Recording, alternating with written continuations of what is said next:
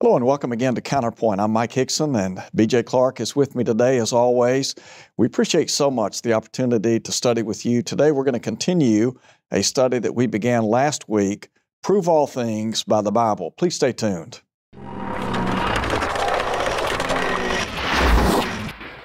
BJ, great to be with you today. Yes, sir. Good to be with you, brother. BJ, as we get back to what we were talking about in a previous program, prove all things, hold fast that which is good, based on 1 Thessalonians chapter 5, there's a need to prove everything that we practice, mm-hmm. spiritually speaking, by the Bible. That is the divine standard. And that message has not changed. You know, the psalmist said, Forever, O Lord, your word is settled in heaven. So we're not talking about a message that is changing with, with the tides, but rather this message is this message is timeless. So there are a lot of things in the religious world that people practice that, quite frankly, aren't found in Scripture. Mm-hmm. One of the passages you alluded to earlier in our study, 1 Peter chapter 4, verse 11, where Peter said, If any man speak, let him speak as the oracles of God. BJ, when I think about the church, you know, the Bible says there's one head and there is one body. That's what Paul Paul makes that case in Colossians 1:18, for example.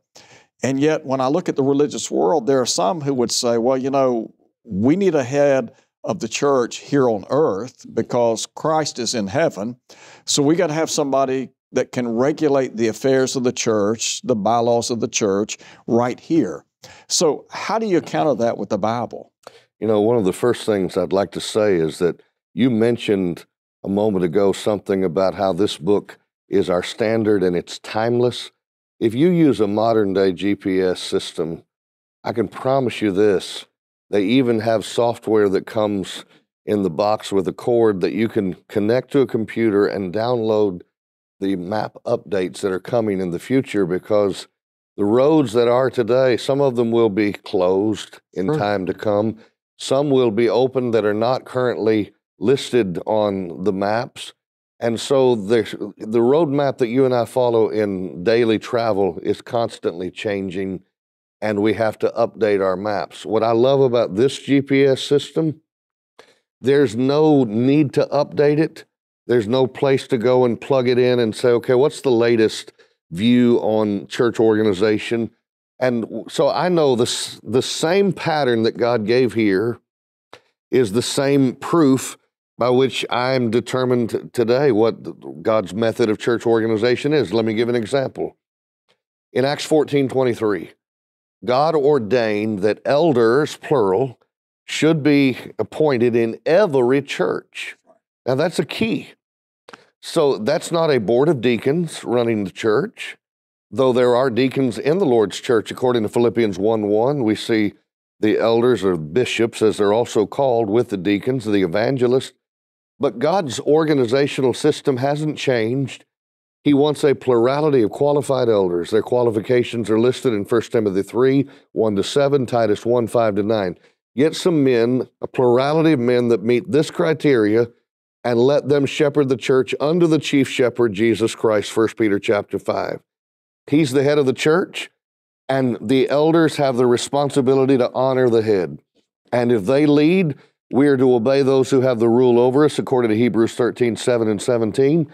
The elders have the right to govern us by this book right here as their platform and to follow the chief shepherd. So, to answer your question, if people are struggling with what to do when it comes to the head of the church, they don't have to look to Rome for a papa. They don't have to look to some Episcopalian form of government or Presbyterian form of government per se as defined by modern day denominations. They just have to go to the New Testament and follow its wisdom in the way God set up the church. Yeah, you know, and BJ, we, we talk about the universal church, the one head, the one body. Uh, again, Colossians 1.18, he's the head of the body, which or head of the church, which is a body. Christ is that one head. Now, there are those in the Catholic Church who espouse the idea that Peter was the first pope and that Christ built the church upon Peter. Now, language wise, there are some similarities between the word Peter, the name Peter, and the word rock. But the foundation upon which Christ built the church was that bedrock statement that he had made earlier when he said, You are the Christ, the Son of the living God. Peter was making an absolute affirmation of divine truth that Jesus was who he claimed to be. Now, in verse 18, Jesus said, I also say to you that you're Peter. That word Peter is masculine right. in gender.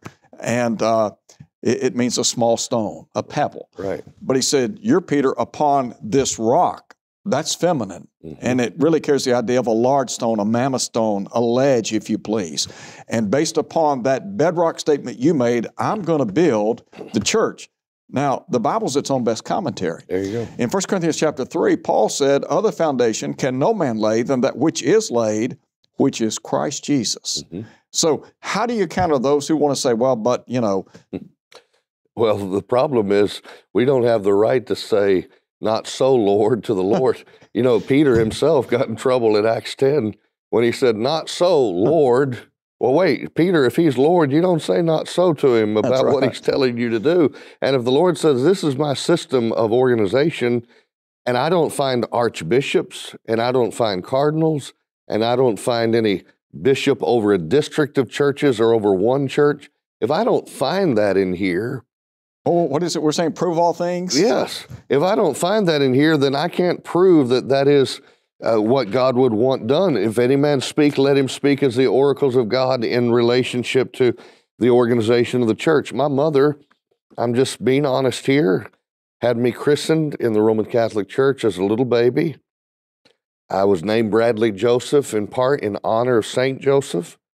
And my mother made a change later on in life and became a member of the church that started in Acts 2, the church that you read about in the New Testament. And I asked her one time, I said, Mom, what made you change? And she said, Son, I learned that all the things that I thought must be in the New Testament, like holy water and rosary beads and certain things about, you know, Hail Marys and all these things that I'd been told, I just assumed were in there. But she said, when I started reading my New Testament and noticed there was never a mention of an archbishop or a cardinal or a pope or any of these other doctrines, I suddenly realized that I wasn't really trusting in the inspired word of God as much as I was the doctrines and commandments of men. And so she made a choice to leave that which was not being done by authority and to follow the simple New Testament pattern of organization, which makes perfect sense too. By, by the way, Mike, if, if God puts a plurality of men over a congregation and one man goes astray, then the plurality helps the church not to follow that one man. And that's God's wisdom. You don't go to the oil fields in Texas and see everything in one big container. It's divided into all kinds of different containers. Windows are paned off and sectioned off so that if you break it, the whole thing isn't broken. God is so he's so superior to us in yeah. his planning. Yeah, and you know, BJ, you talk about you, you mentioned uh, we talk about the the universal church, the local church, in, in, in, Scripture. We can read of churches that are located in a certain geographical location, like the churches of Galatia, the churches of Asia Minor in chapters mm-hmm. 2 and 3 in the book of Revelation. You read about as you appeal to Philippians chapter 1, the church at Philippi, the church at Ephesus, the church at Colossae.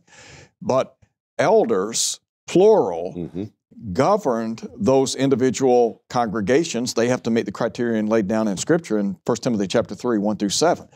Now, if they meet that criterion, then their authority rests in matters of expediency. They don't have the authority to make new law. No. Uh, they don't have that right. But they do have the right, the authority to uphold Scripture and then to right. execute the work of the church in a local setting. And not one of those elders has any more authority than the other duly appointed elders, so that one man can't run the church. If one man becomes morally or doctrinally contaminated and he's running the church, then the whole church is affected by that. Right. But in God's wisdom, one man could go astray and the others could say, Nope, we're not going down that path. This is wrong. But you know what started happening in history? Unfortunately, these churches, with their plurality of elders, started having one man kind of become more like the chief elder. And then this church over here, they had their elder that was really kind of above the other elders. And pretty soon you got all these different congregations with all these different elders being the chief. And then someone got the not so bright idea to have a meeting of elders from all the different churches, and one man would go and represent that eldership. Now, every one of those elders that went to those conferences and conventions and meetings was used to being the one in charge back home. So, what do you think happened when you get that many men together who are used to being the number one person in charge? There was a power struggle, and pretty soon the chief elder of the chiefs began to elevate himself. And by the time you get to some centuries later, about 434 AD, you've got an individual by the name of Pope Leo, uh, uh, Leo basically claiming to be the first pope. But you don't ever see that. Someone says, no, Peter was the first pope. He didn't act like it. No. He was an apostle, he was an elder, but he never called himself that. No apostle ever called himself that. Paul withstood him to the face because he was to be blamed. And Peter told a man that bowed down to him, Get up, I'm just a man. Acts 10, 25 and 26. Don't say that happening today. Yeah. At all. No, you don't. BJ, when we emphasize proving all things in the denominational world, it's typical to have a board of deacons, as you noted a moment ago, with a one man pastoral system. Yeah. But again, that doesn't meet the litmus test of truth. When we look at the standard, you looked at Acts chapter 14, verse 23, they ordained elders in every church. Titus 1, Paul said to Titus to set things in order and to ordain elders in every city and every church. Mm-hmm. That's right. And and this there was no s- system whereby one man would be the bishop over a large metropolitan area. And unfortunately, the more that that happened, the further and further away we got from the pattern of the New Testament. Fortunately, we can get back to speaking where the Bible speaks and being silent where the Bible's silent. That's what the restoration movement's all about. And if we go back to that, then yes, there will be pastors, plural, but there won't be a single pastor over a congregation such as we're so used to hearing. Uh, the Bible teaches that Peter was a pastor but not because he was a preacher, but because he was an elder. If Acts chapter 20 is used, you can go to verse 17, he calls them elders. Greek word used there is a form of presbyteros. Later in Acts chapter 20, he tells that same group, he calls them overseers from episkopos, the idea of they were being overseers to rule. And then he calls that same group shepherds in the same context from a, a word that has to do with feeding a flock. And so God's system, and by the way, to prove that elders only have authority over the local flock, Peter in 1 Peter chapter 5 uh, says, You tend the flock that is among you. Feed the flock of God which is among you. That means they don't have any jurisdiction over a flock that is somewhere else. Correct. Those elders in that flock have the jurisdiction under the chief shepherd who's over all shepherds. That's right. And you know, BJ, one of the things I think that even as we explore this particular concept, elders don't have the right, No. Uh, no eldership has the right to sit down and to re examine certain biblical topics and then come to a conclusion that differs from Scripture and say, okay, we're going to do this. For example, we don't have the right, elders don't have the right to bring an instrument into the worship service. Right. They don't have the right to begin ordaining women elders in the Lord's church or using women to preach and teach in settings where men are present because Paul forbids that in 1 Timothy chapter 2. I heard a man some years ago, and you probably heard the same statement, make a statement that if someone tried to bring in instruments of music, if the elders tried to do that, he wouldn't run roughshod over the authority of the elders and oppose this, even though he didn't think it was the right thing to do. Uh, His mistake was to suggest that elders have authority to do something that the chief shepherd did not authorize them to do. If the chief shepherd says baptism's for the remission of sins, what, what should every shepherd and elder say? Uphold that. That, mm-hmm. that is, I honor the chief shepherd. Otherwise, you talk about arrogance. Right. To, for me to say, no, no, no, no, you're wrong about that. Uh, we say this.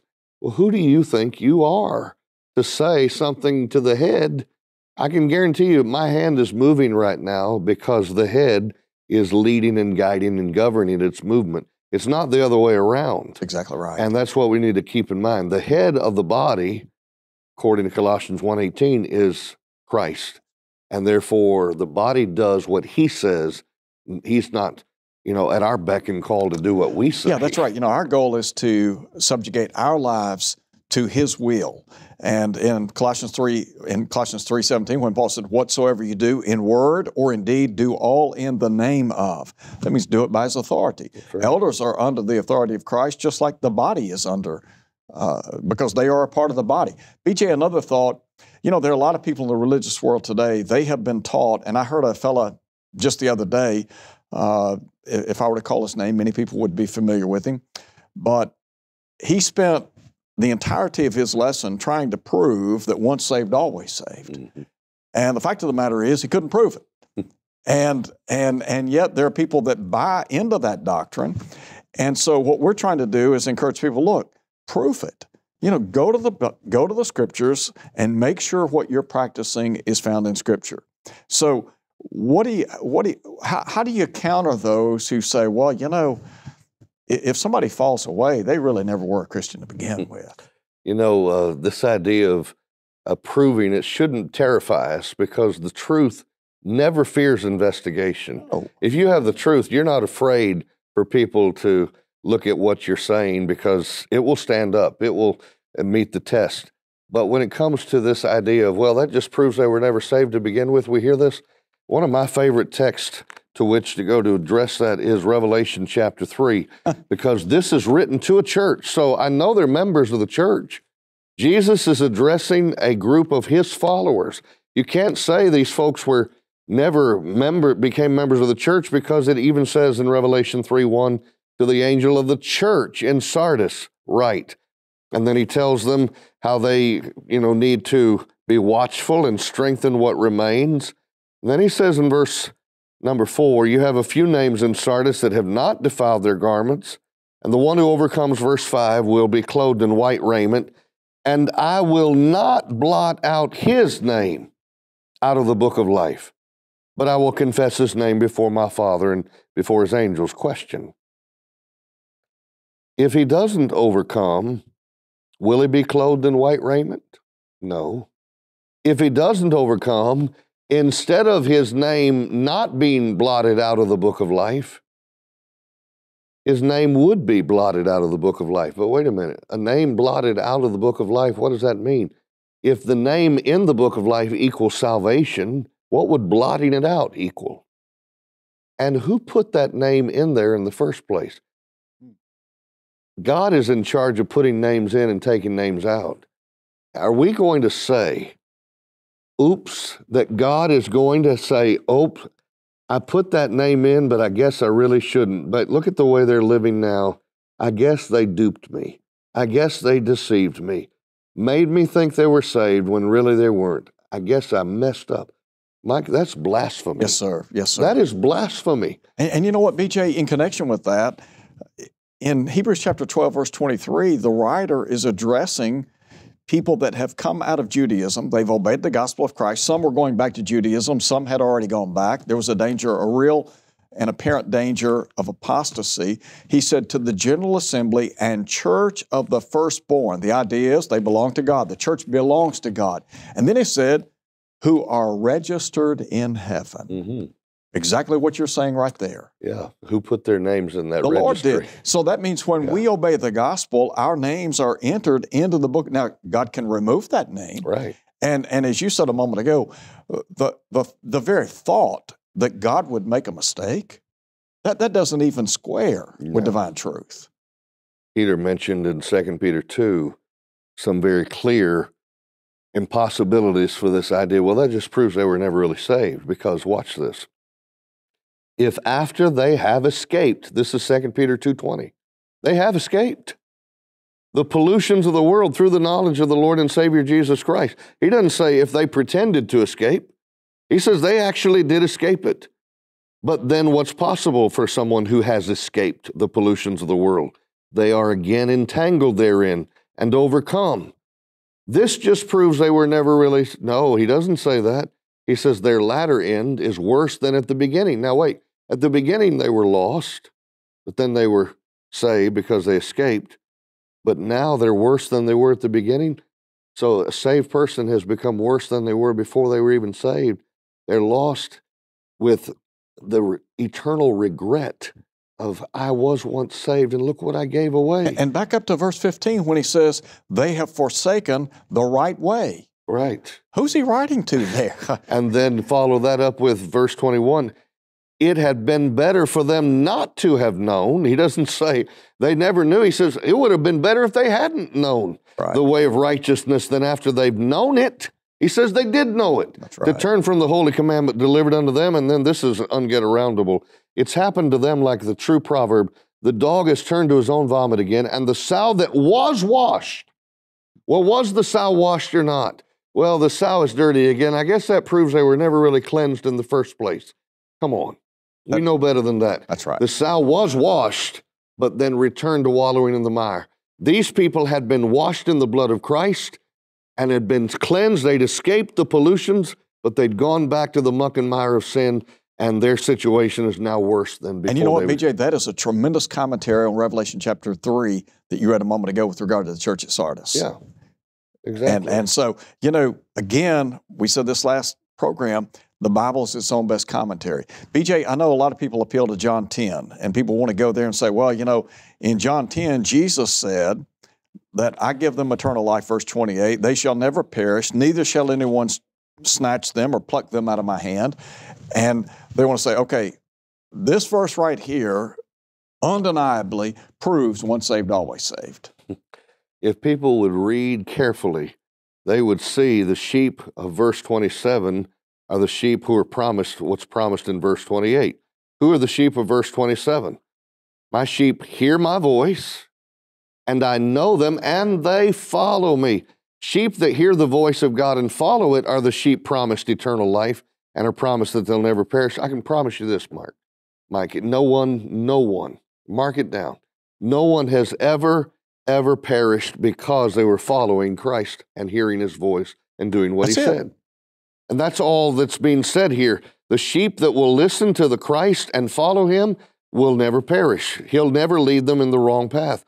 But so this is not talking about a sheep that goes astray. This is talking about sheep that hear his voice and don't go astray. They keep following. him. Yeah, go back to John chapter 8, verse 31. Jesus said to the Jews, If you abide in my word, mm-hmm. okay, what? You are my disciples indeed. Turn over to John 15. In John 15, Jesus talks about being the vine. He said, We're the branches. But note, if you would, in verse 4, he said, Abide in me, I in you, as the branch cannot bear fruit of itself unless it abides in the vine, neither can you unless you abide in me. And the point, and matter of fact, I would encourage those who are watching, go back and just note the number of times Jesus stresses this idea of abiding in him. Mhm. Why? Because there's significance there. And as you said in John 15, you don't abide in him, consequences. Yeah. When it says you'll be going to cast and uh, burned, is that a pr- promise of salvation there? No, it's not. And I tell you, Luke 15 also f- comes to my mind because he talks about sheep that have gone astray. Let me ask you, in Luke 15, did the sheep that wandered away need to be found? He said it was lost, But it's found. But then it's found. Does that mean it was never lost in the first place? Look at the prodigal son. He was lost, but now it's found. Would it have been better for the prodigal to remain where he was? Would he have been fine if the prodigal had never come home? Would we be able to say what the father says, this my son was lost? He comes right out and says, this, this my son was lost. He was dead and is alive again. He was lost and is found. Well, was he lost or not? Yes, he was. And BJ, in 1 John chapter 2, you remember in verse 28, Jesus said, And now, little children, abide in him. Yep. Why? Why, John? that when he appears, we may have confidence and not be ashamed before him at his coming.